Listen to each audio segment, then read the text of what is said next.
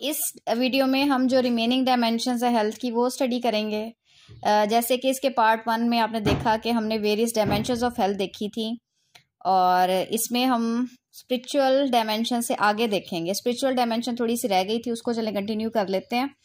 Spiritual science जो है बहुत डेवलप हो चुकी है। अब स्पिरिचुअलिटी को साइंस के एंगल से देखा जाने लगा है। तो क्योंकि स्पिरिचुअलिटी किसी भी शख्स की जो रूहानी ज़िंदगी है, वो उसकी मेंटल और फ़िज़िकल हेल्थ पे बहुत इम्पैक्ट क्रिएट करती है। It includes love charity purpose ethics principles integrity and hope of life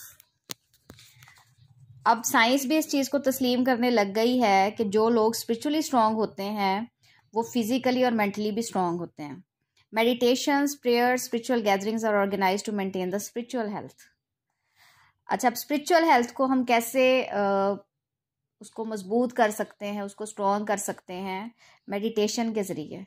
meditation कहते हैं कि आप किसी पुरसकून जगह पे जहाँ पे आपको डिस्टर्ब ना कोई करे, वहाँ पे जाएँ, आप रिलैक्स पोस्चर में बैठें, आपके जो बैठने का एंगल है वो कंफर्टेबल होना चाहिए और आप अपनी आइज़ क्लोज करके बाहर की इन्वायरमेंट से एक मिनट के लिए या जितनी भी देर के लिए आप मेडिटेशन करना चाह रहे हैं ऑलमोस्ट जो स्टैंडर्ड टाइम है मेडिटेशन का, वो हाफ़ आवर है। तो आप तकरीबन जितने भी टाइम के आपने माइंड में रखा हुआ है कि मैंने इतनी देर मेडिटेट करना है, आप उस टाइम के लिए आइसोलेटेड एक कंफर्टेबल इन्वायरमेंट में चले जाएँ। ज़्यादातर जो मेडिटेशन के लिए इन्वायरमेंट होता है, वो किसी नेचुरल प्लेस पे होता है, क्योंकि जब आप किसी नेचुरल प्लेस पे जाते हैं, जैसे कोई खुला मैदान हो गया या कोई खुला, खुली जगह हो गई खुले आसमान के नीचे तो आप नेचर के करीब आ जाते हैं। आप वहाँ जाके अपनी आइज़ क्लोज़ करें और इन्वायरमेंट से कुछ देर के लिए कता ताल्लुक़ हो जाएँ और अपने अंदर एक्सप्लोर करें। अपने सेंस ऑफ़ बीइंग को आप देखें, महसूस करें। तो आप खुदा के बहुत करीब अपने आप को महसूस करेंगे। प्रेयर्स जैसे कि आप जानते हैं कि प्रेयर्स भी हमें सुप्रीम पावर के बहुत करीब ले जाती हैं। स्पिरिचुअल गैदरिंग्स जो स्पिरिचुअल फ़ंक्शंस होते हैं वो भी हमें खुदा के बहुत करीब ले जाते हैं। तो ये सब स्पिरिचुअल हेल्थ में बहुत अहम करदार अदा करते हैं।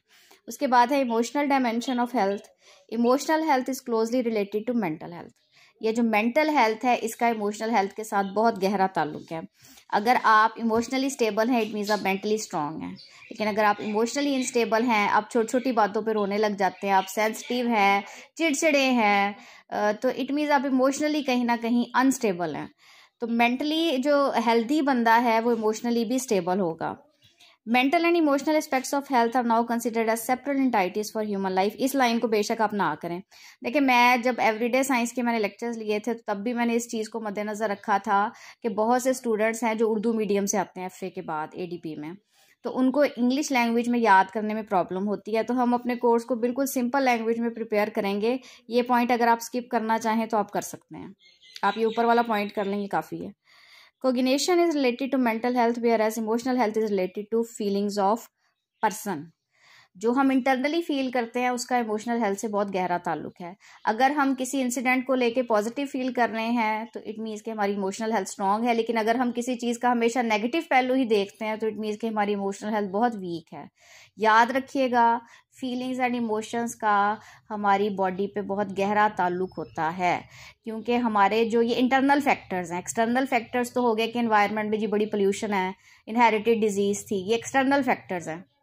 जो इंटरनल फैक्टर है, वो आपके इमोशंस हैं। अगर आप हर वक्त सैड रहते हैं, आप गुस्सा जल्दी करते हैं तो ज़ाहिर है कि आपकी बॉडी के अंदर टॉक्सिक केमिकल्स प्रोड्यूस होंगे। साइंस भी अब इस चीज़ को एक्सेप्ट कर चुकी है कि जब कोई शख्स अंदर कुड़कुड़ाता है, या जब हम कुड़ते हैं किसी बात की वजह से, गुस्सा करते हैं तो हमारी बॉडी के अंदर पॉइजनस केमिकल्स प्रोड्यूस होते हैं। तो जो केमिकल्स प्रोड्यूस होते हैं, ज़ाहिर है वो हमारी बॉडी को कोई अच्छा इम्पैक्ट तो नहीं दे रहे।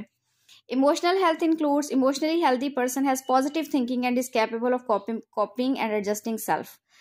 Positive जो थिंकर होता है वो हर तरह के माहौल में एडजस्ट कर लेता है। चाहे उसके ढेरों नेगेटिव पीपल क्यों ना हो वो अपने आप को एडजस्ट कर लेगा। An emotionally healthy person participates in all activities that are linked with self esteem and personal growth इस पॉइंट को अगर आप चाहें तो आप स्किप कर सकते हैं। ये थोड़ा सा इरेलीवेंट है। फ़र्स्ट पॉइंट जो है वो ज़्यादा बेटर है इस इस कंटेंट के हवाले से। उसके बाद emotionally well people have ability to express their feelings freely and manage feelings emotionally जो स्टेबल लोग होते हैं, वो अपनी फीलिंग्स को बड़ी आसानी से कंट्रोल कर लेते हैं। जैसे अगर कोई गुस्से वाली बात आ भी जाए तो वो अपने माइंड को कूल रखते हैं। वो रिएक्ट नहीं करते, बल्कि रिस्पॉन्ड पॉजिटिवली ही करेंगे, उस चीज़ को अच्छी तरह टैकल कर लेंगे। They are also aware of and accept wide range of feelings in themselves and others ये वाला पॉइंट भी बेटे नहीं करना, ये फोर्थ पॉइंट और सेकेंड पॉइंट आपने नहीं करना जस्ट फ़र्स्ट और थर्ड करना है।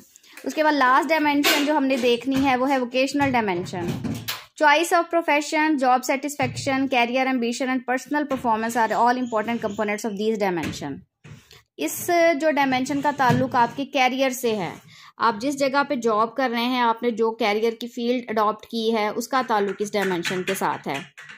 To be occupationally well a person is ultimately doing exactly with what they want to do in life and are comfortable with their future plans अगर एक शख्स एक अच्छी मतलब बाज़ दफ़ा ऐसे होता है कि कुछ लोग डॉक्टर बनना भी नहीं चाहते, लेकिन पेरेंट्स के प्रेशर में आके, सोसाइटी के प्रेशर में आके, वो मेडिकल फ़ील्ड में चले जाते हैं। लेकिन वो लाइफ टाइम डिससेटिस्फाइड होते हैं, वो अपने प्रोफेशन के साथ इंसाफ नहीं कर पाते। तो अगर आप वो प्रोफेशन अडॉप्ट कर रहे हैं कि जिसमें आप सेटिस्फाइड हैं, जो आपके मतलब जॉक के मुताबिक था, आपकी चॉइस थी, आपकी ज़ाती चॉइस थी तो आप फिर उसमें परफेक्ट हो के वर्क करेंगे। यानी कि आप वोकेशनली हेल्दी होंगे।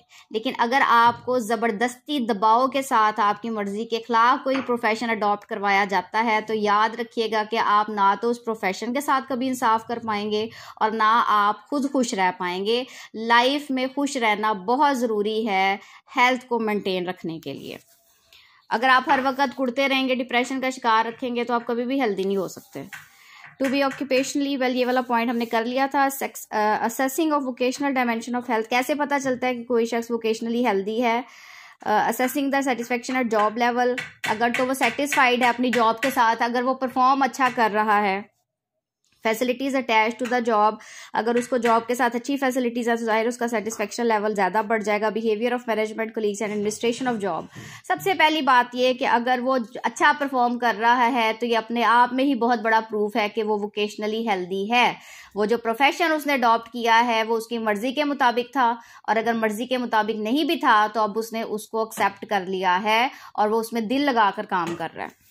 लास्ट जो डायमेंशन जो बाकी डायमेंशन है, इसको इन्होंने इस बुक में एक्सप्लेन तो नहीं किया, लेकिन कल्चरल डायमेंशन आपकी जो सकाफती डायमेंशन है, अगर आप सकाफती तौर पे एक अच्छा रोल प्ले कर रहे हैं, आप अपनी सकाफत से सेटिस्फाइड हैं तो आप हेल्दी हैं। Socio economic dimension socio economic dimension देखें सोशल कंडीशन जो माशरे की है, अगर आप एक ऐसे इलाके में, एक ऐसे मुल्क में रह रहे हैं कि जो ओवरऑल डेवलप अंडर डेवलप्ड है डेवलपिंग है, वहाँ पे बहुत गुर्बत है तो हर वक्त आप डिप्रेशन का शिकार रहेंगे कि हमने खाना क्या है, हम कैसे कमाएँ, आप सर्वाइवल के मोड में चले जाएँगे कि हमने किस तरह अपने लिए कमाना है, आप हर वक्त इस बात की टेंशन लगी रहेगी। तो ज़ाहिर है कि जब आप टेंशन में रहेंगे तो आप मेंटली मिसफिट हो जाएँगे।